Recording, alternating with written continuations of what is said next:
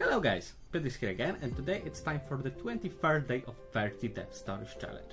And in today's story I would like to tell you something about event sourcing, what it is and maybe why you should think about using it. So let's start. In many systems uh, we are focusing on the current state of the system, on the current state our aggregates and entities and maybe it's good enough for many systems but when uh, something uh, will go wrong, for example, users make some use case that uh, make some data inconsistency uh, in our system, etc., etc. Mm, we will want to have uh, an information how our system changed in in, uh, in time. So, for example, we want to uh, have information that uh, there are one, uh, two, and three changes uh, of uh, state of some object. And thanks to this, we have a pattern called event sourcing.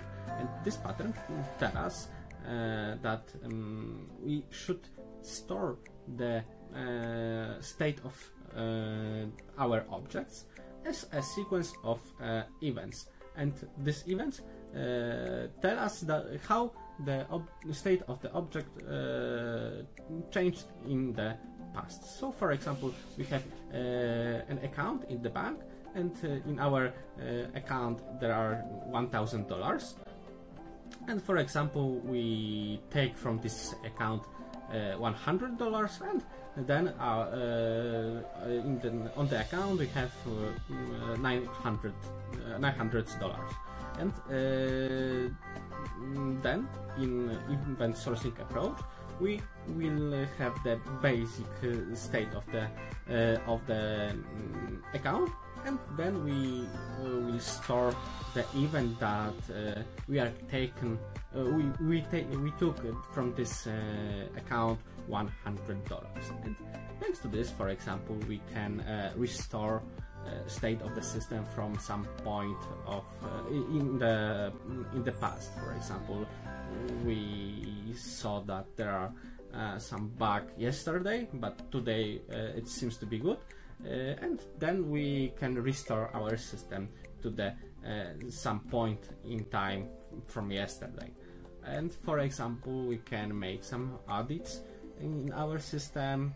Mm, thanks to this, we can check that uh, user users uh, use our system correctly without trying to make some bad, bad things with our system etc uh, etc et so uh, this uh, could be quite good um, approach for for the system like banking systems uh, when we want to have uh, the history of changing the state of the system. And uh, for implementation um, event sourcing, uh, you have to have some database called event store. And in .NET we have uh, some library, some framework, I don't know how to uh, how can I call this, called Marten, implemented um, by Oskar Dudycz and others.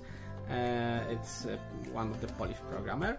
Uh, and uh, then uh, it's uh, the library which use as a database Postgres. So I think you you can try it and you can test it on your own.